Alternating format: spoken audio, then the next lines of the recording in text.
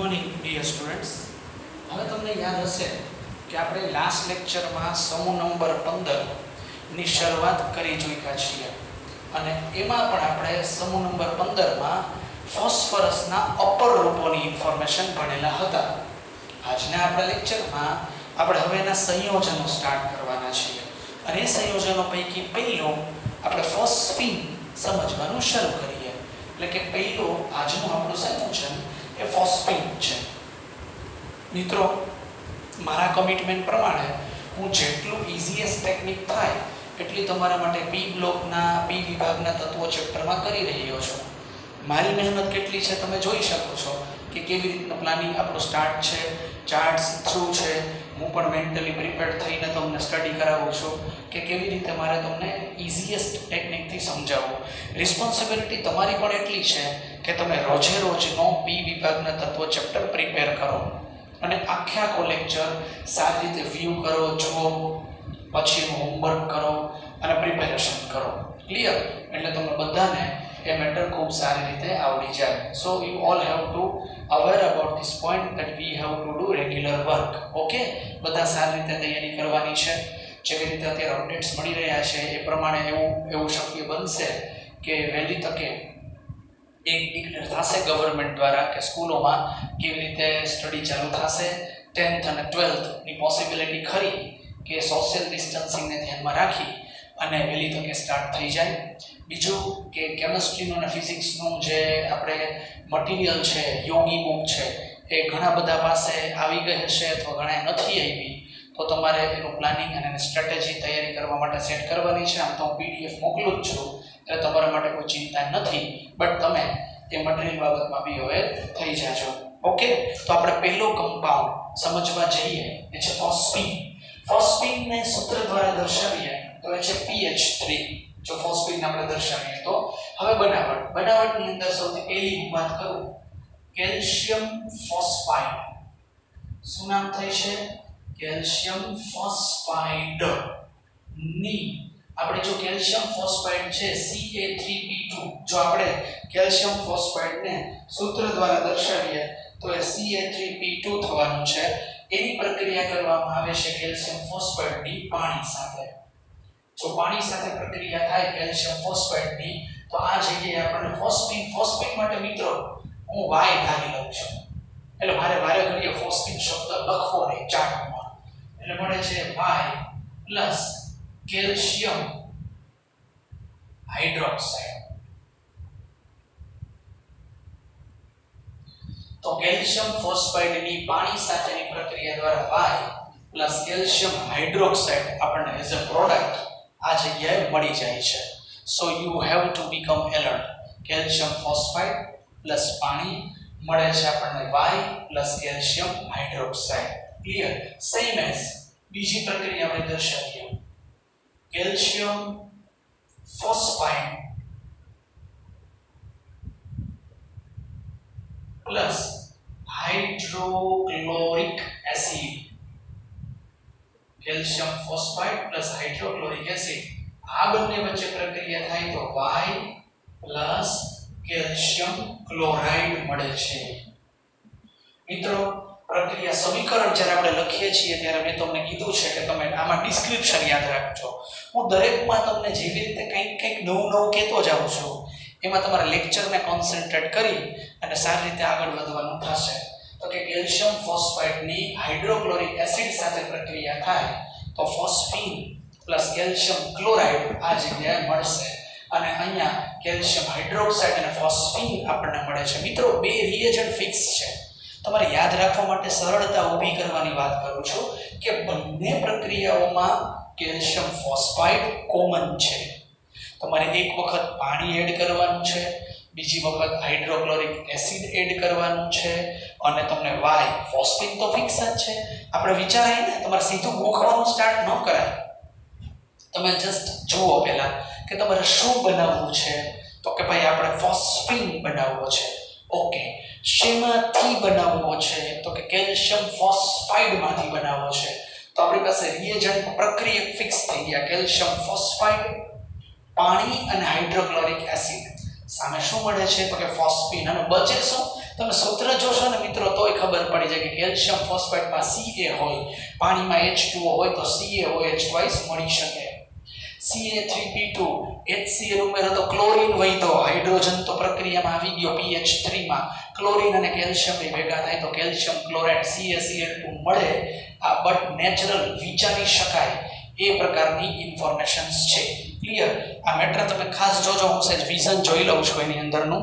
તો અહીંયા it's okay તો કેલ્શિયમ ફોસ્ફાઇડની હાઇડ્રોક્લોરિક એસિડ સાથે પ્રક્રિયા થઈ, તો આપણને અહીંયા કેલ્શિયમ ક્લોરાઇડ અને ફોસ્ફીન મળે છે. મિત્રો, કદાચ તમને ચાર્ટની અંદર આછું દેખાતું હોય મીન્સ અક્ષર નાના લાગતા હોય તમને મારા, તો હું બોર્ડ વર્કની પીડીએફ મોકલું જ છું. તમારે બોર્ડ વર્કની પીડીએફ એક સાદા કાગળમાં લખી દેવાય અને જ્યારે હું સમજાવતો હોય, ત્યારે તમારે બોર્ડ વર્કની પીડીએફને સામે રાખીને જોવાય. આટલા બધા દિવસ ત્યાં સ્ટ્રેટેજી તો તમે પોતે જાતે બનાવી શકતા હશો કે કેવી રીતે શું આપણને ઇઝી પડે છે. અથવા તમે આ વીડિયો ડાઉનલોડ કરી લ્યો, તો સ્ક્રીન સ્પ્રેડ થઈ શકશે. બરાબર, પણ થોડુંક તમારે એડજસ્ટમેન્ટ કરવું પડશે બીકોઝ એવડો મોટો ક્વેશ્ચન મારે કોઈ ચાર્ટ ફોર્મમાં બતાવવો હોય, તો ચાર્ટ્સ ડ્રો કરું તો બટ નેચરલ છે કે થોડા હેન્ડરાઇટિંગ નાના થઈ જાય. અને હું પણ મારા હેન્ડરાઇટિંગ નાના છે એવી તમારી હજારોની સંખ્યામાં ફરિયાદો મને આવે જ છે. પણ I am trying my level best હું કોશિશ કરું છું કે હેન્ડરાઇટિંગ મોટા થાય. બટ આ ઓનલાઈન લેક્ચર્સમાં તો એથી વધારે અઘરું છે. હેન્ડરાઇટિંગ મોટા કરવાનું આખું બોર્ડ કવર કરવું એટલે તમે એડજસ્ટ કરજો. ચાલો, હવે ત્રીજી પ્રક્રિયા જે ઓલરેડી આપણે આગળ નાઇટ્રોજનના અપર રૂપમાં સ્ટડી કરેલો છે, તો કે ફોસ્ફરસની સોડિયમ હાઇડ્રોક્સાઇડ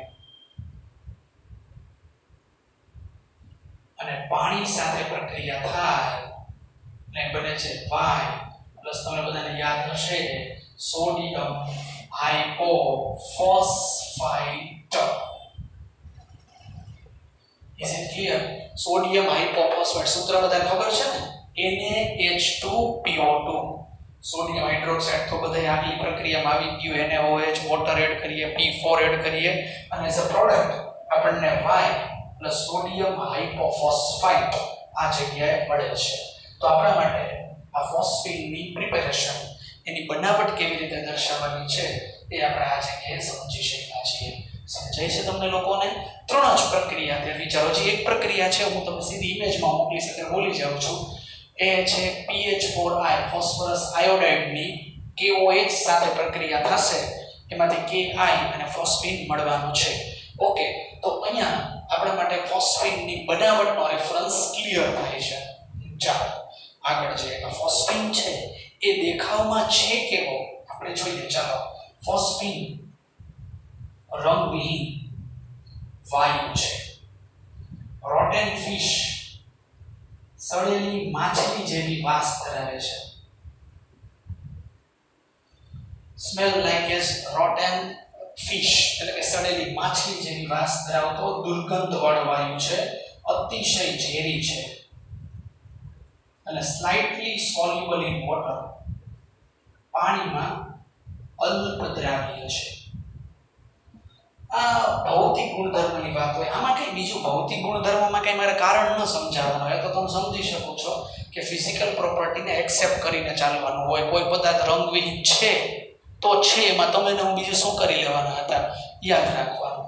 રંગવિહીન દુર્ગંધ વાળો વાયુ, કેવી દુર્ગંધ છે? કે સડેલી માછલી જેવી રોટેન ફિશ જેવી ઓર્ડર છે એની, એકદમ પોઈઝનિયસ છે અને સ્લાઇટલી સોલ્યુબલ ઇન વોટર છે, એટલે કે પાણીમાં અલ્પદ્રાવ્ય છે. ઓકે. તો આ થઈ જાય છે એના ભૌતિક ગુણધર્મો ફોસ્ફીનના જો આપણે દર્શાવીએ તો, ત્યાર પછી રાસાયણિક ગુણધર્મો અને ઉપયોગોની વાત કરીએ. કેમિકલ પ્રોપર્ટીઝ કયા પ્રકારની છે? આપણે એની અંદર આગળ વધીએ. ચાલો, રાસાયણિક ગુણધર્મોની અંદર પહેલી પ્રોપર્ટી આપણે વિચારીએ.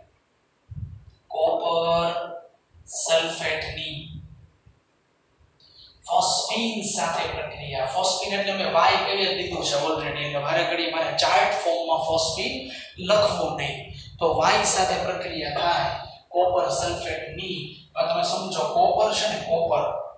એની બે વેલેન્સી હોય વી એક આવશે ક્યુપ્રસ અને એક આવશે ક્યુપ્રિક. તમને બધાને ખબર હશે કે આને છે ને ક્યુપ્રિક કહેવાય. અને આને ક્યુપ્રસ કહેવાય. ક્યુપ્રસ ઓક્સાઇડ ક્યુપ્રિક ઓક્સાઇડ એમ અહીંયા આપણે આવું સંયોજન મળે છે. કોપરની વેલેન્સી 2 એટલે ક્યુપ્રિક ફોસ્ફાઇડ મળે છે. ક્યુપ્રિક ફોસ્ફાઇડ હવે તમે સમજો કોપર સલ્ફેટમાં SO4 તો ફોસ્ફીનમાં હાઇડ્રોજન છે મારે કહેવાની જરૂર નથી. સારા વિદ્યાર્થીઓ તરત સમજી જાય કે સલ્ફ્યુરિક એસિડ આ જગ્યાએ મળી જાય છે. કોપર સલ્ફેટની Y સાથે પ્રક્રિયા કરો ક્યુપ્રિક ફોસ્ફાઇડ અને સલ્ફ્યુરિક એસિડ આ જગ્યાએ આપણને મળશે. એટલે એ તમારા માટે પહેલો રાસાયણિક ગુણધર્મ થઈ ગયો ફોસ્ફેટને સમજાવતો. જે ક્લિયર ટુ ઓલ પહેલો રાસાયણિક ગુણધર્મ ફોસ્ફેટ માટેનો કોન્સેપ્ટ આપણે આ જગ્યાએ દર્શાવી લીધો છે.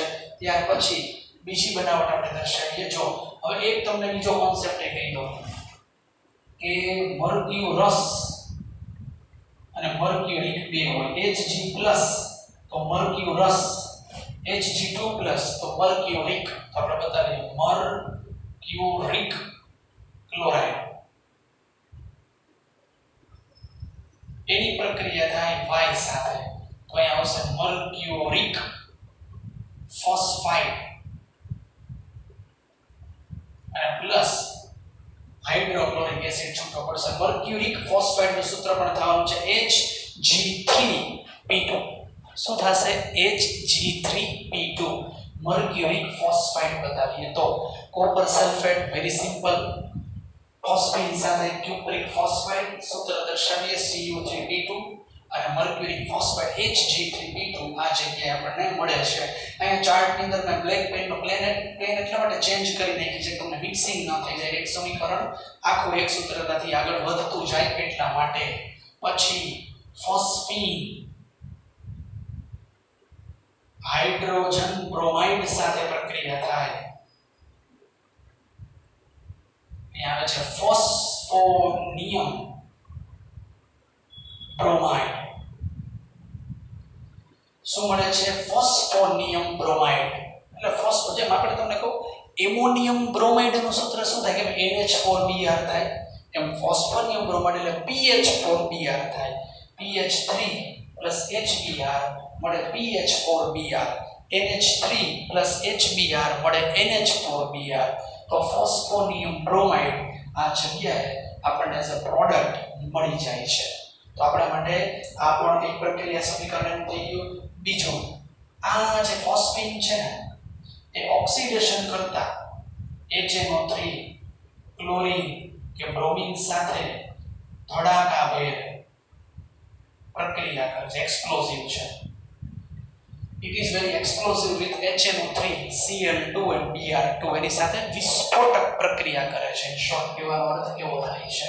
તો અહીંયા, આપણી સામે ફોસ્ફીનના રાસાયણિક ગુણધર્મોનો સમાવેશ થઈ ગયો છે. તમે કોન્સેપ્ટ સમજતા જાઓ. બનાવટ માટે શું કરવાનું છે? કેલ્શિયમ ફોસ્ફાઇડ બે વખત, એક વખત પાણી, બીજી વખત HCl પછી ત્રીજી બનાવટ ઓલું સોડિયમ હાઇપોફોસ્ફાઇડ વાળી જે આપણે ફોસ્ફરસના અપર રૂપોમાં શીખી ગયા છીએ. પછી ફિઝિકલ પ્રોપર્ટી આવે તો કે રંગવિહીન છે, અતિ ઝેરી છે, વાયુ છે, સડેલી માછલી જેવી દુર્ગંધ ધરાવતો વાયુ છે અને પાણીમાં અલ્પ દ્રાવ્ય છે. Is it clear to all okay અને રાસાયણિક સમીકરણમાં કોપર સલ્ફેટની ફોસ્ફિન સાથે પ્રક્રિયા થાય ક્યુપ્રિક ફોસ્ફાઇડ અને સાથે સલ્ફ્યુરિક એસિડ મર્ક્યુરી ક્લોરાઇડની પ્રક્રિયા થાય મર્ક્યુરી ફોસ્ફાઇડ અને સાથે હાઇડ્રોક્લોરિક એસિડ અને HNO3 ક્લોરીન બ્રોમિન સાથે વિસ્ફોટક પ્રક્રિયા કરે છે. એટલે કે ધડાકા સાથે પ્રક્રિયા કરે છે. હવે, આનો ઉપયોગ શેમાં થાય છે? એની હું તમને વાત કરું. ઉપયોગ હોલ્મ્સ સિગ્નલ અને ધૂમ્ર પડદા સ્મોક સ્ક્રીન બનાવવા માટે. હવે મારે તમને એ સમજાવવું પડે કે હોલ્મ્સ સિગ્નલ શું છે? આ બેટર બેટ આપણે થોડું વિચારીએ. હવે તમને કહું કે દરિયાની અંદર કોઈ સ્ટીમર મુસાફરી કરે છે.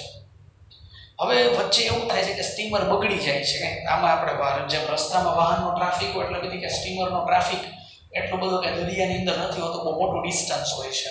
સ્ટીમર બગડી જાય કે કંઈક પ્રોબ્લેમ થાય એ વચ્ચે સ્ટીમરને તો એ લોકો શું કરે છે, તમને ખબર માટલું હોય, માટલામાં કાણા પાડેલા હોય. એમાં છે ને કેલ્શિયમ ફોસ્ફાઇડ નાખે એ લોકો. શું નાખે માટલામાં? Calcium phosphide. અને માટલાને પાણીમાં ઘા કરી દે. હવે માટલાનો જેવો પાણીમાં ઘા કરે એટલે જે કાણા હોય ને માટલામાં, એની અંદરથી પાણી છે ને અંદર દાખલ થાય, માટલાની અંદર. અંદર કેલ્શિયમ ફોસ્ફેટ છે એ પાણી અને કેલ્શિયમ ફોસ્ફેટ બે પ્રક્રિયા કરે એટલે તમારી સામે છે કે ફોસ્ફેટ નામનો રંગવિહીન વાયુ ધમાડા ઉત્પન્ન થાય. રંગવિહીન. ધમાડા ઉત્પન્ન થાય ને એકદમ ઝાઝી સંખ્યામાં. એટલે જે બીજી સ્ટીમર હોય ને એને ખબર પડે કે અહીંયા કંઈક પ્રોબ્લેમ છે, કારણ કે સિગ્નલ છે. તો કે પાણીની અંદર વચ્ચે સફેદ ધુમાડા નીકળવા માંડે તો શું હોય? કાંઈક તકલીફ હોય તો જ હોય બાકી પાણીમાં થોડા ધુમાડા નીકળતા હોય. તો પાણીની અંદરથી ધુમાડા નીકળે છે એટલે બીજી સ્ટીમરને જજમેન્ટ આવી જાય કે ત્યાં કંઈક જે સ્ટીમર કામ કરી રહી છે કે ત્યાં જે સ્ટીમર છે, એને કંઈક તકલીફ છે ડૂબતાને બચાવવાનું છે. સેવ અવર સોલ એનો સિગ્નલ થાય. એ સિગ્નલને કહેવાય હોલ્મ્સ સિગ્નલ શું કહેવાય બધાને?